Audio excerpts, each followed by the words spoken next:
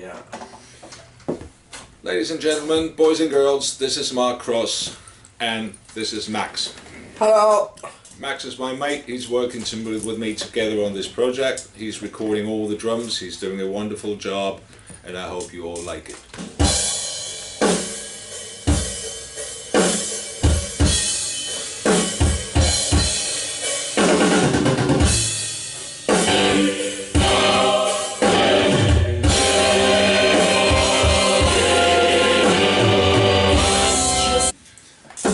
Vivaldi Metal Project.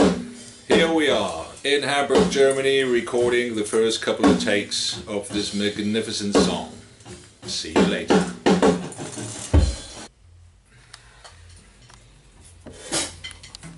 Ha ha ha!